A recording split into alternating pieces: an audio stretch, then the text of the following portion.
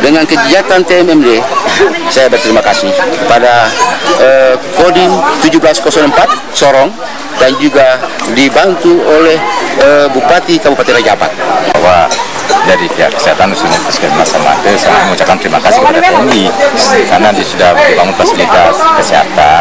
Kemungkinan nanti beliau ada pusing-pusing ke sini kan langsung aja kita gunakan bisa gunakan karena kemarin pelayanan dari kesehatan juga Puskesmas Samate di mana masa kumpul ya itu dilayani gitu kadang di pantai kadang mungkin di kemudian di gereja di sekolahan gitu itu kemarinnya sekarang nih karena sudah ada disiapkan oleh teman-teman TNI mungkin kita bisa menggunakan itu nanti fungsinya uh, pernah sudah sampaikan ini kita Bapak Ramil mudah-mudahan ke depan nih boleh bisa menambah rumah lagi untuk kami lagi karena kami masyarakat di sini sebagian besar yang belum mendapat eh, rumah.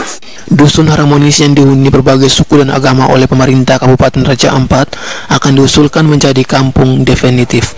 Terbentuk sejak tahun 2014 silam, Dusun Waipele saat ini dihuni kurang lebih 40 kepala keluarga tanpa sejumlah fasilitas umum seperti penerangan, kesehatan maupun air bersih.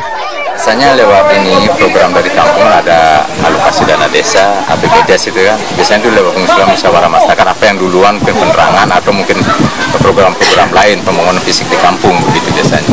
Itu bisa lah melalui eh, anggaran itu dipakai untuk penerangan begitu. Kalau airnya kak bagaimana? Dan yang ini air ini kalau kita lihat sih memang sudah tidak layak dikonsumsi lah begitu.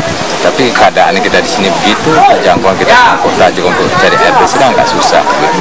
Ya mungkin dengan sendirinya mungkin air itu dipanaskan aja begitu, karena supaya kita bisa konsumsi supaya jangan ada kandungan penyakit lah istilahnya.